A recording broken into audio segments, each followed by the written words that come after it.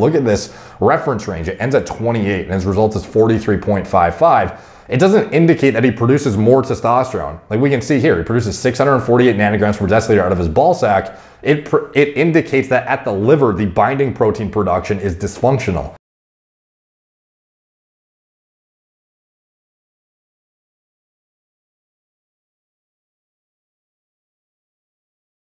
What's up guys, Derek, moreplates, Today we're gonna be talking about Cobra Tate, the brother of Tristan Tate, uh, former professional kickboxers, now turned, um, they're not like influencers necessarily, but they are uh, a big, I don't know, they're like two of the biggest names. I don't think they're like, you know, officially part of the manosphere or like red pill community, but they're otherwise um, guys that up and coming entrepreneurs and guys who are looking to maximize, you know, like self improvement and whatnot, um, look up to as a source of motivation and kind of like a, uh, I don't know, a blueprint for, you know, how to do things. Uh, I don't know, get your head out of the matrix essentially. So, um, reason I know of them is way back in the day, they made this video, Tristan Tate's Limitless with Gorilla Mind Rush. So this was the discontinued nootropic formula I created um, way back when Gorilla Mind first started. So they were uh, introduced to the brand through mutual friends and, um, you know, they were like, made this hilarious fucking edit way back in the day. Highly recommend you go watch it. Most people probably don't even know this exists, but it's pretty goddamn funny. And uh, that's when I first learned of them, and I've seen them kind of like, you know, ascend the ranks of, I don't know, net worth essentially over the years and become pretty uh, influential in the male self improvement space. So, reason I'm talking about this today is I was tagged in this post. Since the dawn of time, the mediocre have perished. Open your eyes before it's too late and he posts his testosterone levels to prove he's not on steroids or TRT. So he says here, can you send me my blood test to prove I'm not on steroids or TRT or any of the other shit users have to lose? Presumably losers have to use? I don't know. But anyways, so he gets sent this report from, I don't know who it is, but presumably his overseeing uh, medical provider or whoever. I don't really know. But anyways, it's a blood test result uh, we have Greg O'Gallagher in the comment section talking about how his test levels are similar. No TRT. And uh, down here we have more plates, more dates. Cobra Tate collab of the century. More plates, more dates. More plates, more dates. So people want to get my insight on it. This is how real G's roll. Um, top G and up top boss. Wow. Heart emoji eyes. Um, does it say your test level is 648 nanograms per deciliter. And then the comments down here. Yeah, so this is in nanograms per milliliter. So that is not the unit of measurement we're familiar with on the West Coast. We use nanograms per deciliter, but it's not very hard to convert it. You can just see ng per like slash ml. You just multiply it in order to get the nanogram per deciliter equivalent. So yes, it is indeed 648 nanograms per deciliter. So this is the calculator you can use, by the way, Endo Memo. It's a good, uh, uh, conversion calculator. We have nanogram per milliliter, 6.48, nanogram per deciliter, 648. So that's a pretty normal looking total testosterone level. Now going down to here, we have the free testosterone, um, Libera atestosa, whatever the fuck. So presumably free test. So like here we say around the same test levels as you with higher free tests as Greg O'Gallagher. Um, now there's not a whole lot else to go on from here. So this is, you know, his like exemplification of his natural status essentially. So, you know, expectedly people are going to tag me in this shit and want to get my interpretation and we're going to get into it. So here we have um, the thing, the first thing I noticed that was weird is it says Andrew Emery Tate here. And then we have presumably age and it says like 28, I think. Um, I don't know I'm pretty sure he's mid 30s. A reason being is somebody mentioned in the comment section down here, where is it? Somebody said, Aren't you 35? And then he liked the comment. Now, I don't know if he just has somebody who's, uh, you know, liking all the comments as like a social media engager that he's hired because he's pretty much liked everything. But um, he liked the comment that said, Aren't you like 35? So here he is down here liking the comment. So you would think that's some sort of confirmation. What's your point? It says 28 years old on the test. It's also from August of 2020, which doesn't add up.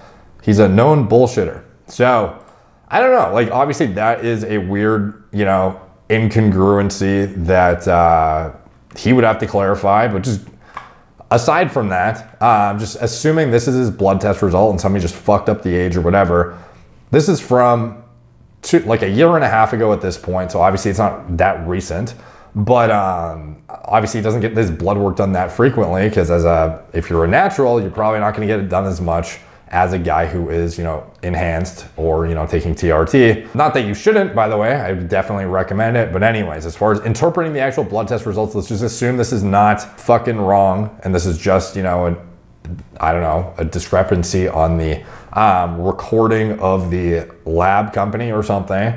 It also makes me call into question the actual accuracy of the results then too, if they're like fucking up that significantly, but he would have a better explanation than me on why this is here or what this even means. Because again, this isn't even my language here. So anyways, the main thing that's of note is the free testosterone. So this is on a reference range of one to 28.28 picograms per milliliter. So you see it's flagged here as high. So we see 43.55. So typically for a normal, like healthy free testosterone level for like a high functioning male, you would look to have a 2 to 3% of your total T represented as free. So you wouldn't have too little of binding protein production or too much because too much would indicate probably like chronic keto dieting and or a prolonged calorie deficit or significant amounts of fasting or some sort of, you know, potentially a disease state or just suboptimal diet or too low on the other side of the equation. If you have too low of SHBG, could indicate metabolic dysfunction, could indicate non-alcoholic fatty liver disease, but most notably it could indicate androgen use. And that's what we see with guys on TRT in general, to be honest. And this is represented even in like most guys' blood work is you'll see for guys that are using not cream, but guys who are using exogenous injections, you'll see a disproportionately higher free testosterone from the driving down of SHBG caused by those exogenous administrations. So you typically have a guy with like, you know, borderline like, you know, like four to 5% even in some cases for free testosterone. So you could have a high free despite your total T being in range. And this again is why a lot of guys will have like more psychoactive activity, more aggression, more even like muscle building potential potentially on exogenous TRT above and beyond the stability of always having that chronic level sustained in your system without having to worry about pulsatile dips from a diurnal rhythm that would otherwise be caused by a natural like pulsation from your ball sack essentially. So guys who chronically maintain like a 648 with a higher free testosterone, you're not dipping up and down. If you have a shitty night of sleep, if you go out drinking, whatever, like your level is sustained because it's manually administered. So again, with him, he's posting this as a like proof that he's natural essentially. So what can we say off the bat with these markers? Well, picograms per milliliter, again, this isn't even the unit of measurement, first of all, that we'd want to see. We'd want to see a reference of nanograms per milliliter or nanograms per deciliter ideally, because it's more something that from our perspective, we can actually wrap our heads around more and is more I don't know, specific, whereby you're in like the hundreds for total and then you can dial down into the double digits for free. Whereas for this, you would be down into the, you know, like fractionated amounts in uh, free test if you're going by nanogram per milliliter. It's just harder for us to wrap our heads around. So putting this in nanograms per deciliter, we have 648. Now you would want to see a free test of 2 to 3% of that, which this reference range, you'll notice, isn't a totally different unit of measurement. This picograms per milliliter is not something you are going to convert into nanograms per deciliter and get this equated number because this is based on an immunoassay. And this is something I've talked about before. When you look at LabCorp's description of free testosterone direct, which presumably is what this is, we can see here immunoenzymatica. That's immunoassay presumably.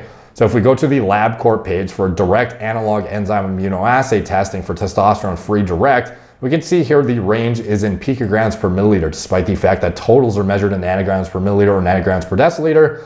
We get a weird fucking equation that equates to, it's like a cheaper way to analyze free testosterone levels and it uses a totally different metric of measurement that makes it totally impossible to compare it directly to nanogram per deciliter totals. However, the reference range is still pretty similar to nanograms per deciliter where we can get a fair framework whereby if you're still in the ballpark of like the low 20s, like you're pretty much like, you're pretty dialed in depending on your total T levels. But having like a like a 40 plus indicates some level of like fuckery going on whereby you are either using some sort of drug and or you are in a state of dietary induced, I don't know, insulin resistance, um, non-alcohol, non-alcoholic fatty liver disease, whereby your liver is um, dysfunctional and binding protein production is all fucked up. So anyways, we're gonna get into that shortly, but just wrap, kind of like further elaborating on this and elucidating what I can interpret from this. Um, first of all, I'm gonna say off the bat, him posting this does more harm than it does good for exemplifying how he's not on TRT. Like this looks like a flagship, like guy who pins once a week his TRT for a guy who drives his SHBG down has a disproportionately high free by like a significant margin. Like look at this reference range. It ends at 28 and his result is 43.55 it doesn't indicate that he produces more testosterone. Like we can see here, he produces 648 nanograms per deciliter out of his ball sack. It, it indicates that at the liver, the binding protein production is dysfunctional. So this has nothing to do with your free test. You produce more, like you literally have less binding proteins binding up the test. So you're in a hyperandrogen dominant state, but not in a healthy way necessarily. Like your total T is still average or like it's not a bad thing like this is totally normal and it's not necessarily indicative of subpar ability to gain muscle or subpar ability to do anything because androgen receptor density and actual expression at the AR gene expression level is going to dictate how you respond to however much test is in your system to begin with. So this is a totally normal level. It's this level that's all fucked up, to be honest. So here's an example of my most recent test results that we went over on the Super Physiological Man podcast. So you can see here, total T 930, right over the LabCorp cutoff. Here on his uh, test results, this would otherwise be um, high. You know, different places have different classifications of what's high or not. In Canada, they will literally say you're high if you're over like fucking 800 in some cases. Like you can literally be have the most piss poor test production and be in range in some countries. It's fucked up. But here, 850, that's a pretty low high end of a reference range to be honest. Um, some labs go up to like a thousand. It kind of depends where you are, but ultimately we can still tell like 930 would be like high normal. Now again, this is manually manipulated and maintained. So this is this 930 is chronic, and this is why you see gonadotropin levels crushed. You see a luteinizing hormone and follicle stimulating hormone level undetectable at 0.3, well less than 0.3 each. So this is indicative of the lack of or the significant negative feedback caused by testosterone aromatizing to estrogen telling your hypothalamus to no longer spit out GnRH because you need none because you do not have enough need for testosterone production in your body. So this is where LH and FSH get crushed by TRT and you see a disproportionate rise in free test usually. So if you continue through this blood test result, you can see my free test in a second here. We're about to zoom out here and you can see, um, might have to fast forward a little bit here just so we can get to it faster. So here we go, zooming on the free test. You see this high free test, 37.57 with a percent free testosterone of 4.04. This is almost like clinic, it's clinically out of range simply because my total T is out of range too. However, this percent free testosterone is pretty indicative of low SHBG. Like if you find my SHBG on this blood test, I forget where it is exactly, but it is somewhere in the borderline single digits. I think it was like 10 or something, which is otherwise indicative again of a lot of the things I said, you know, NAFLD, like uh, insulin resistance, but most notably the reason for me, the TRT administrations. However, for Cobra Tate, what is it exactly? Well, we couldn't actually say for certain that it's not TRT use until we see his gonadotropin. So I will say though, I've followed this guy for a long time. I do actually think he's natural. However, I do think that what he has posted has completely kind of like done the opposite of helped reinforce what he's trying to prove here. So here, this is showing that he basically has the equivalent level to a guy who's on like a moderate TRT dose. To prove otherwise, we would need to see his luteinizing hormone and follicle stimulating hormone levels, which super easy to do. Go get a total test done again with a free test, as well as a concurrent luteinizing hormone and follicle stimulating hormone test. And that will be able to see if there's any negative feedback or not to your HPTA caused by exogenous androgens. So that is how you would actually show at this moment in time you're not on exogenous TRT. Um, right now, this test does not like it doesn't help at all. It shows his age is like wrong apparently. The date of the test is a year and a half ago. Total test is in range and the free test is disproportionately high. Like this is like flagship TRT use, to be honest. So I just I'm just even telling like Cobra Tate, if you're fucking watching this dude, like you might actually have an issue. And as far as and when I say an issue, I mean like like from a health perspective. You know, you can take from that what you will. It could have been transient though too. Like this is stuff that's a snapshot in time of your blood work. Just because you had like a shitty fucking week where you had a bad diet or shitty sleep or whatever, like there are many times guys could otherwise induce transient states of metabolic dysfunction simply by I don't know if you're like, you know, pulling all nighters for fucking work. Like you, there's a lot of reasons that you could have bad looking blood work. And ultimately that's just a snapshot in time of that one point in time. So follow up blood work could, um, show that he is indeed natural and additionally show that he's not in like an unhealthy state. Cause ultimately all of us at some point have probably had dysfunctional looking shit too.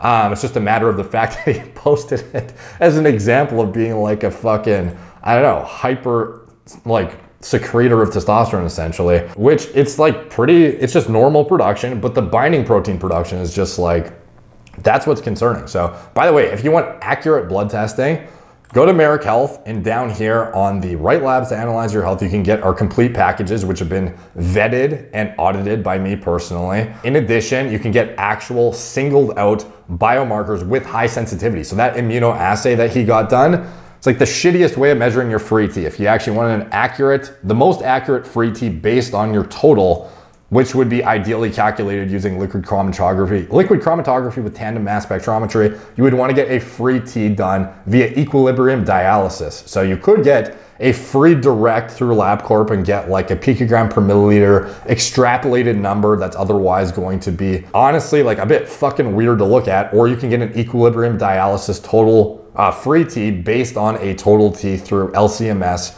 and get an actual like dialed in level that is also not going to be conflated and cross detect other synthetic anabolic agents you're using. So if you're a guy who's using anabolic steroids, if you don't get equilibrium dialysis free T, your free direct is going to be totally fucking inaccurate. Like on Nandrolone Solo, when I did that experiment, cross detected Nandrolone when I had zero tests in my system. So this is not something you want to, uh, like personally, I would highly advise paying the extra money for high sensitivity testing at all times, unless you're like a natural who is just trying to get a, I don't know, like just like the most cost efficient, budget friendly version of testing, or you live in a country that otherwise won't give you access to it. Because again, I don't know if where he lives you can even get high sensitivity testing. Like a lot of times they have to outsource this shit to labs in the states and like ship their ship your blood on ice like across the country and shit or over borders to get to where it needs to get like a basic DHT or get a basic like high sensitivity estradiol.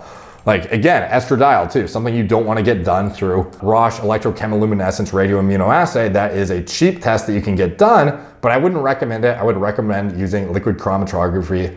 Can't even talk. Liquid chromatography with tandem mass spectrometry here.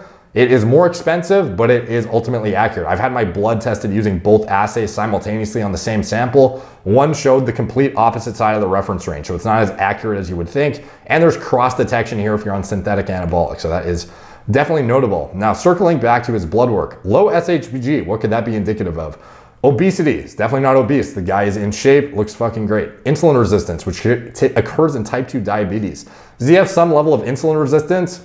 He certainly doesn't look metabolically dysfunctional or unhealthy, but it doesn't mean you couldn't have that circumstance. Hypothyroidism could be a genetic trait. You never know. Definitely something to look at. You would get your TSH tested, see if it's elevated, get your T4 done, and then ideally you would also get like a reverse T3, a T3, and you would see where you're at for that thyroid level. Because again, this kind of stuff could go heavily overlooked and this could be a proxy for it. So despite the fact that it just looks like most people are going to say, who even know this shit, are going to say, look, this is proof that you're not natty.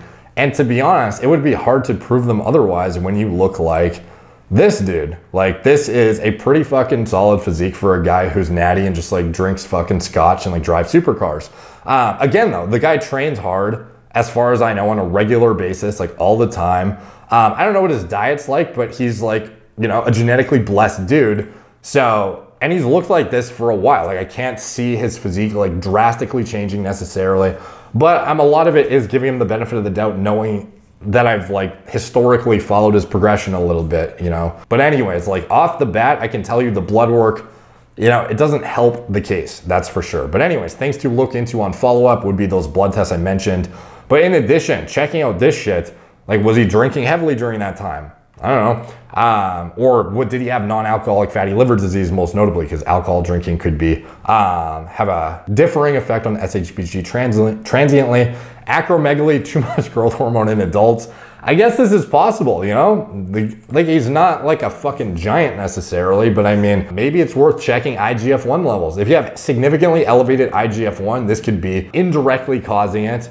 Um, although it would be odd, you know, for a natural to have this, but that's why these are like the weirdest, like worst case scenarios, but they would explain it if you want to get further, more elaborate testing to dial it in. Because again, even if you have high free T, like that's great and all for like, you know, psychoactive effects, being a bit more aggressive, performance-based outcomes a little bit, but there's a point whereby you become a bit more volatile. It's harder to have emotional stability. You react a bit more I don't know, in a more volatile manner, manner, literally, where you are a lot, a lot less able to process situations effectively. I'm not saying that that's what you know happens with him necessarily, but simply hormonally, more free active androgens in your body. Like this is where the roid rage concept comes from. The higher the free androgens circulating in the brain, the more psychoactive activity in like an aggressive context or mood volatility context or emotional stability, etc. So again, like maybe you'd be more rationally, I don't know, like, uh, I don't know, like the implications of that can vary. Like for some people, this could be useful, you know, who are more, I don't know, parasympathetically driven and have, uh, I don't know, higher serotonergic activity. Maybe this is going to balance that out and give you more dopaminergic, you know, drive to go be productive and do, you know, entrepreneurial things. You never know. Like I have a friend who has a total T that is like 1600, which is, or like I've, the highest I've seen of his blood test was almost like two and a half X this total with a free T similar from what I recall. And his SHBG was actually in range, but it was a result of an adrenal tumor that had been sitting there his whole life. So like there are weird circumstances that people could be natural and still have, you know, explained via like very weird out there reasons. And ultimately they dictate the way they behave. Like that guy is a very successful entrepreneur, had a seven figure corporate exit many years ago and is like actually a supercar enthusiast too and he has like a fucking sky high free T. You know, is it a coincidence that some of these guys are like hyper androgen dominant? You know, perhaps not. Um, so, anyway, some things to look into androgen steroid use, acromegaly, non alcoholic fatty liver disease, Cushing disease, hypothyroidism, insulin resistance, obesity. The things that I would be most curious about would be getting like a fasting glucose, a fasting insulin, and a hemoglobin A1C, checking IGF-1 levels too, getting a TSH done, a T4, a T3, and uh, liver values, metabolic, getting a metabolic panel as well. Um, and yeah, I think that would rule out a lot of these like weird, like outlier disease states that you want to hope you don't have, to be honest. And if you're actually natural and this is like occurring on a perpetual basis. Like this is not just like a weird like one-off blood test. Because again, I don't know how much I can even trust this if it's not like accurately depicting like what his age even is necessarily or the dates or whatever. I'm just going off the blood test results. If he's actually natural, like this would be like actually concerning a little bit from a health standpoint. So just my interpretation from a literature perspective, science-based perspective, that is what I think based on my historical data points too of referencing fucking hordes of blood work and having a preventive medicine platform with a bunch of doctors that otherwise do this for a living. So anyways, take from that what you will. If you guys want high quality medical oversight and access to self-service labs as well, where you can order this kind of blood work yourself and see where you're at, very, very critical in my opinion for longevity, quality of life, vitality, etc. Getting yourself dialed in. You can check out Marek Health, link in the description below. And um, I don't know, we'll see if we get a follow up from Cobra Tate on this, or if he even cares, or if this is even like, if this is a troll post. Like, I don't know. So uh, we'll see. That's it. Let me know what you guys think in the comments down below. Is he natty? Is he not? What do you think of the blood test results? All the comments help the algorithm. They're much appreciated. Like, like, subscribe, check out my blog, moreplatemore Follow me on Instagram at moreplatemore Facebook, Snapchat, Twitter, TikTok, maybe I don't even know if I'm up right now, might be banned there. Apple Podcasts, Spotify, and if you want to support the channel, anything I'm associated with, it's all in the video description below. Talk to you guys soon.